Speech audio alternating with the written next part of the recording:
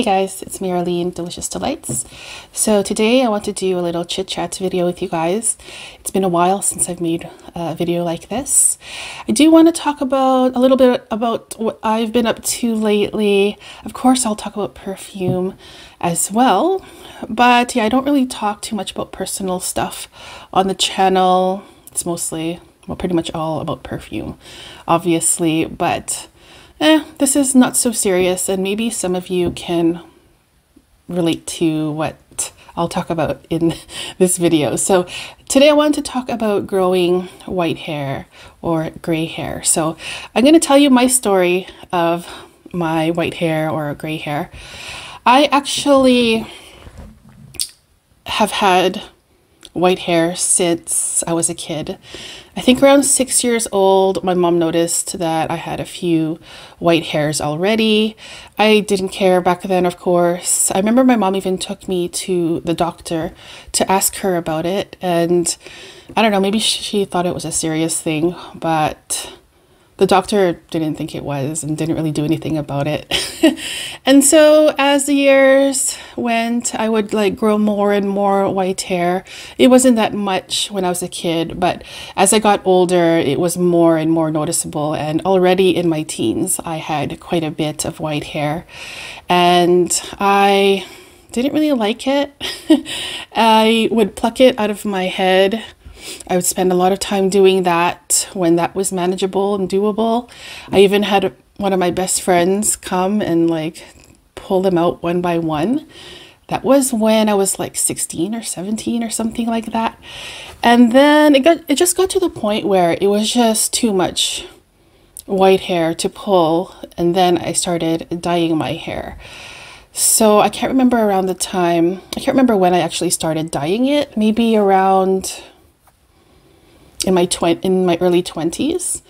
Um, so I've been dyeing it since then. I'm now 44 years old, and from when I started dyeing it till now, it's just been a very, very quick growth with how many white hairs I would have.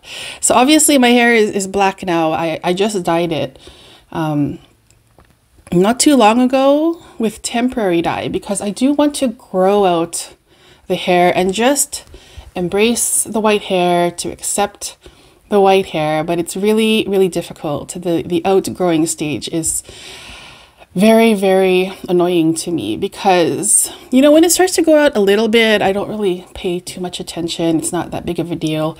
I can do things like spray uh, something on to for my roots. I, I usually use something like this, a root retouch. It's a spray um, there's one from L'Oreal that I use as well.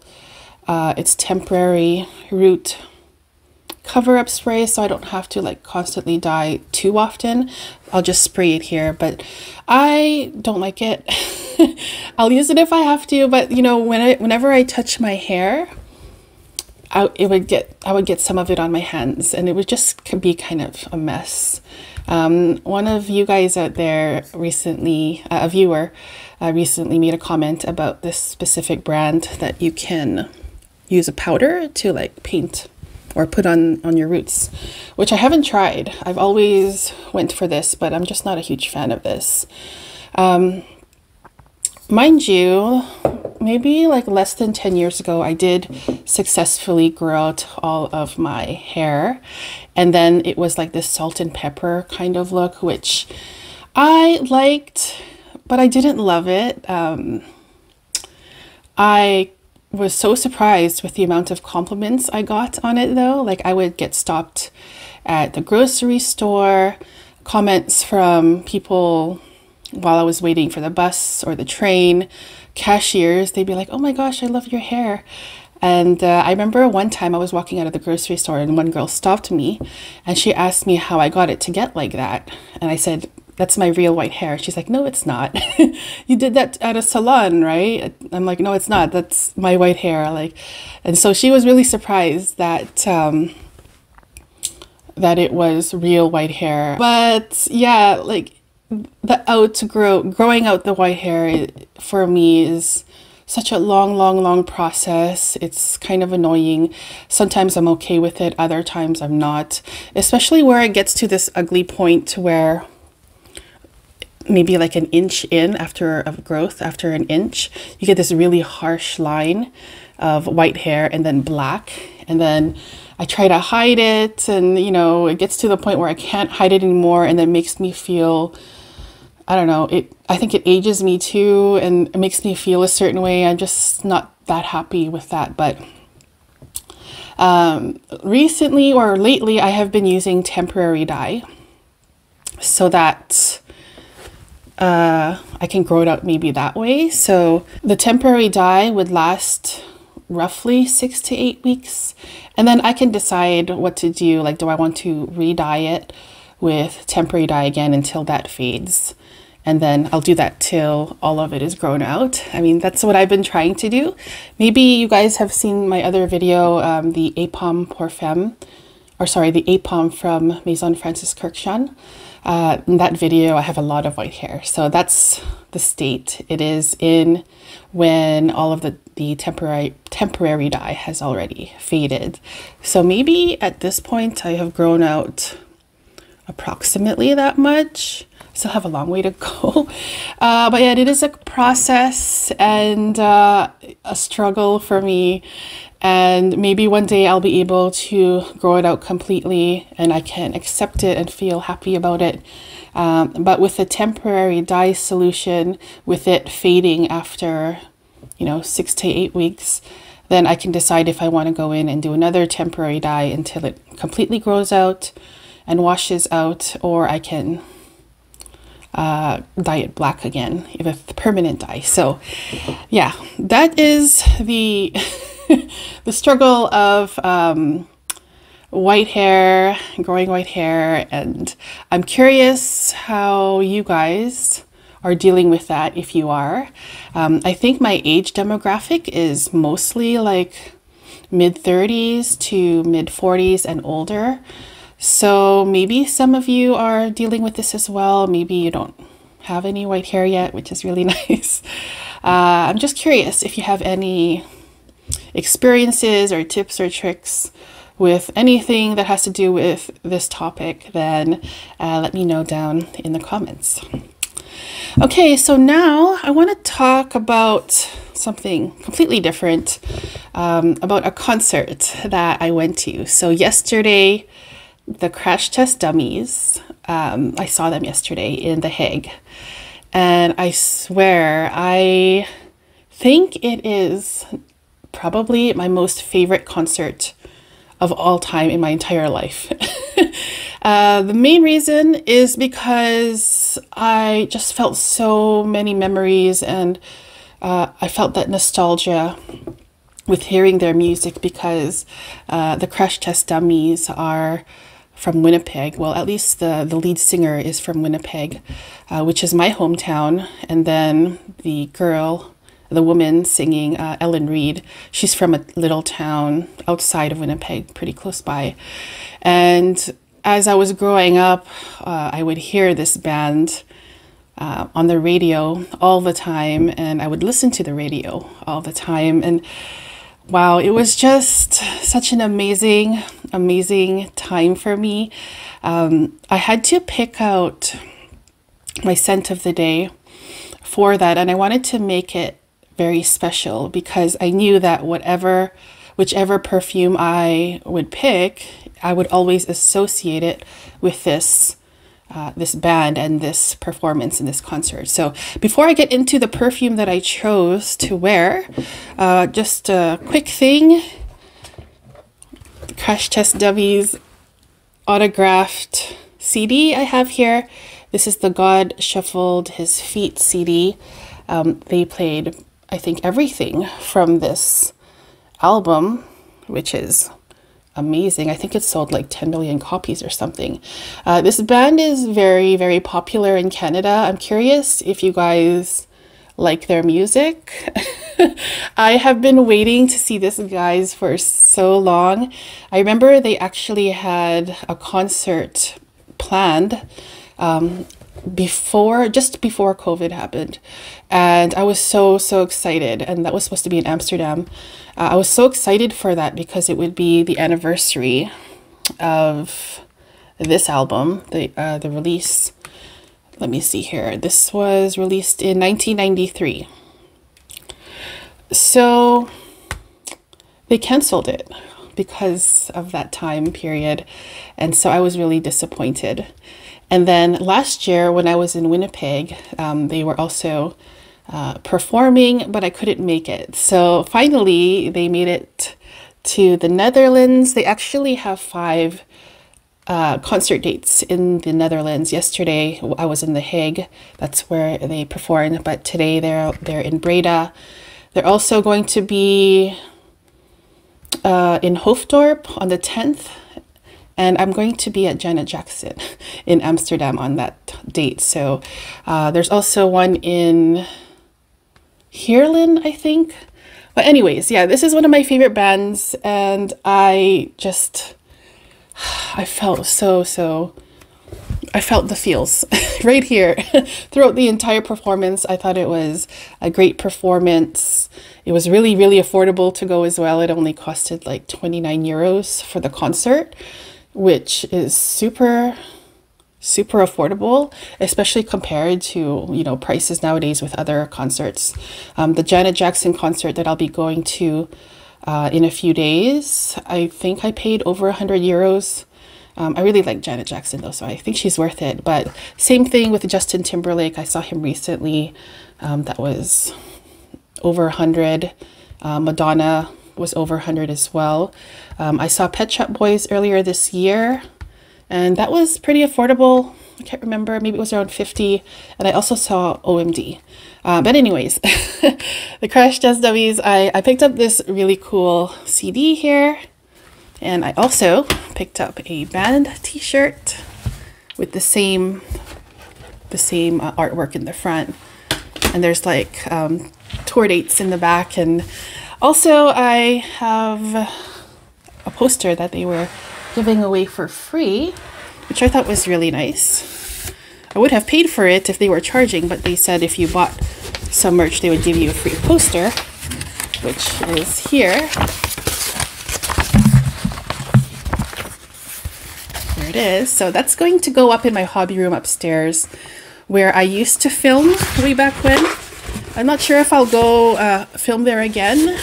Maybe sometime in the future. I feel really comfortable uh, filming down here in the living room though. Um, but yeah, my posters in my hobby room upstairs, a lot of them have faded because they've been there for so long. Uh, right now I have a Rocky poster up there and Karate Kid poster and Daft Punk poster. And I used to have a Muhammad Ali poster. I think I took that down. Anyways, yeah. where am I going with this? Yeah, uh, a perfume. So I wanted to choose a perfume that uh, would give me memories of this concert. And uh, I recently made a video about a strawberry scent called Strawberry from Malin and Goetz. And I remember in that video, I said that I don't have that many strawberry scents, perfumes in my collection. Um, I have some amazing body sprays from Bath and Body Works that are really great for the strawberry scent. But for perfumes, I don't own that many. But I looked at the back of my perfume collection and I saw this and I'm like, oh yeah, that's strawberry. And I haven't worn it all year. I can't even remember the last time I wore this, but I actually really like this scent. Um, this is a scent that was a love it first sniff for me when I first tried it, and I actually bought it right away. Um, immediately. And I don't do that often usually. I like to take my time and maybe do some sampling more or get a decant or just think about it. But I remember when I bought this, I was at a store in Paris and I picked up actually another scent. Uh, this was kind of like um, a surprise buy for me because I really liked it just from my first sniff. And it's a very I like underrated scent. I don't know if I've heard anyone else talk this talk about this one in the community, but it's from a niche brand called Pierre Guillaume and it's called Mojito Chypre. So this is from their Croisière collection, I believe it's called. And um, I like quite a few from this collection. I don't actually hear a lot about Pierre Guillaume at all in the community. Maybe, I don't know, it's just not popular. Maybe I'm just missing it. But yeah, I wore this yesterday, last night at the concert, and I fell in love with it all over again. And I remember at the time when I was in Paris falling in love with it and I had to get it right away. I had those similar feelings with this one. I'm like, oh my gosh, why have I not worn this scent in like forever? And you can see even how full it is. I think this is a 50 mil. Uh, I can't really see. I, I believe this is a 50 mil and maybe I've used like, I don't know, hmm, few mils in there. Two or three mils I've used up over a long time. So yeah, this is a strawberry scent and it's a very unique strawberry scent. It's a strawberry scent that is so weird, quirky. Uh, I don't even know how to describe it. It's just so different from anything else I've smelled. And the main note in here is strawberry and also mint. So I have the notes here just off to the side here. I'm going to look on my computer. Just bear with me for a second. okay, so this one was released in 2015. Uh, Pierre Guillaume Paris Mojito Chypre. And the notes are mint, strawberry, lime, aldehydes in the top. Mid notes are mojito and rum. Base notes are moss, patchouli, vetiver, vanilla, and labdanum. And the mint note in here is is so strange and it actually reminds me of that super super fresh feeling you get when you um, gargle your mouth with mouthwash that's the kind of minty freshness that I get in Mojito Chypre.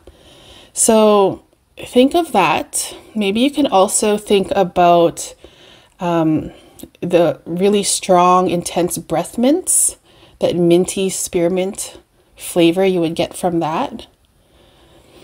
And specifically, this also reminded me of that freshness, the minty fr freshness you would get from those uh, breath freshener things.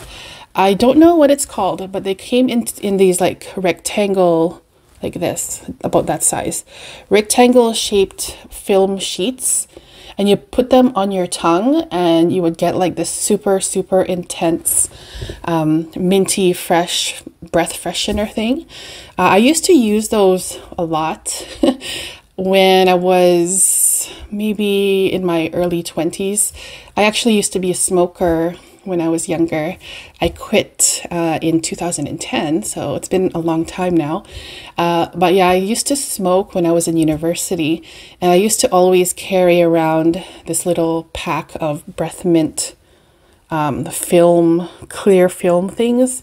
I'm not even sure if uh, that still exists. I've, I do not think I've seen anything like that in the Netherlands, uh, but I'm not really looking for it now. But yeah, I used to always put that on my tongue because like I didn't want to have bad breath talking to people or smoky breath and stuff like that. So yeah, that freshness is just like a big, big explosion of mint and spearmint and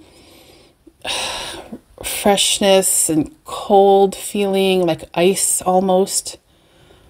And when I wore this last night, that taste and that feeling, it's kind of biting as well. That feeling is what I felt and smelled with this scent. So, along with this super intense mouthwashy breath mint, um, breath film freshener things. There's also a dominant strawberry note in here. And the strawberry note smells strange too. Like it's like more of a strawberry flavored candy. I don't know, I kind of go back and forth between that and like some very cold cocktail mojito drink with extra mint and maybe even some of those breath mints that has been dissolved in the tonic water and then throw in some super intense strawberry juicy ripe strawberries like real strawberries in there maybe some strawberry syrup as well like a concentrated juice and also some crushed up strawberry candies that's basically what um, I smelled when I wore this last night, and it was a little bit weird. Like it's it's very weird scent, but it's so so interesting at the same time. It's also very unique, as I said, and I don't think I've ever smelled anything like this on anyone else. Also, in the concert hall, uh, people were a little bit close together, so it got kind of warm in there and I was sweating. I was wearing uh, a sweater that said Winnipeg on it, which was really interesting because I actually got to talk to some other Canadians who noticed my sweater, and my husband was also wearing the same sweater. And it was kind of nice to talk to uh, people from Canada. And specifically, there was this one girl who said she was also from Winnipeg. So it was really nice to talk to someone from my hometown. Um, anyways, it was warm in there. I was sweating, and this scent felt very cooling and refreshing and cold.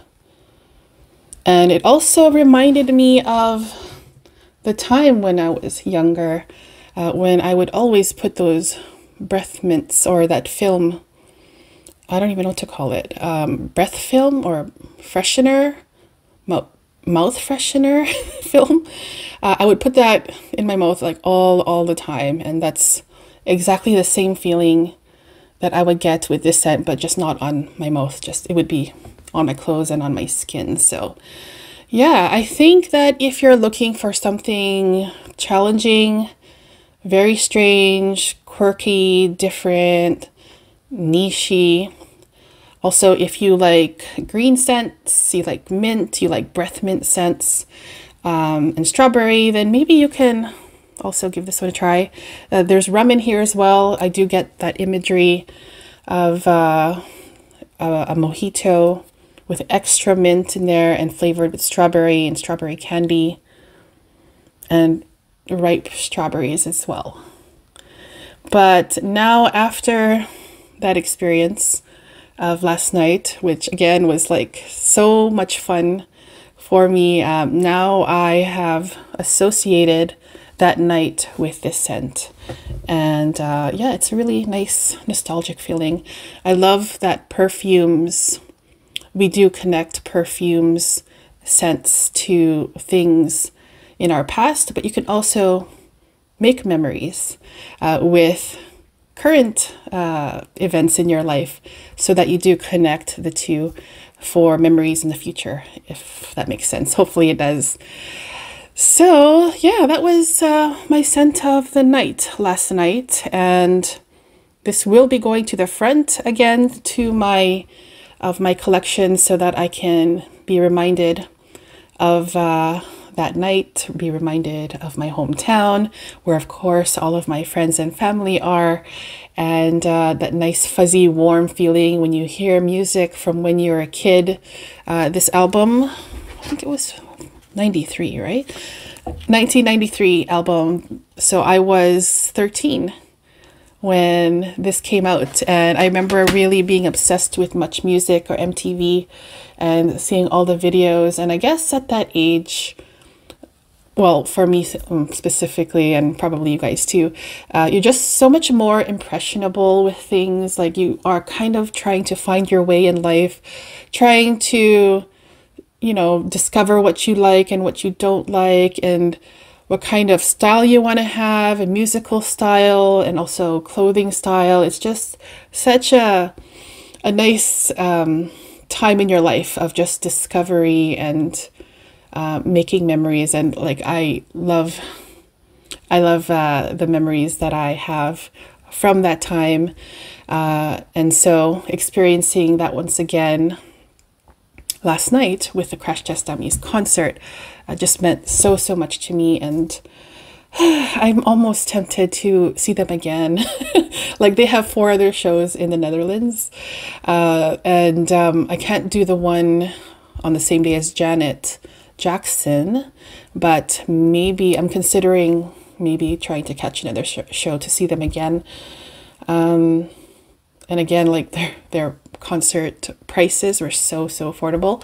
Uh, I paid only 29 euros, but the show today that will be in Breda is only 22 euros, which is like unheard of when it comes to uh, concerts prices.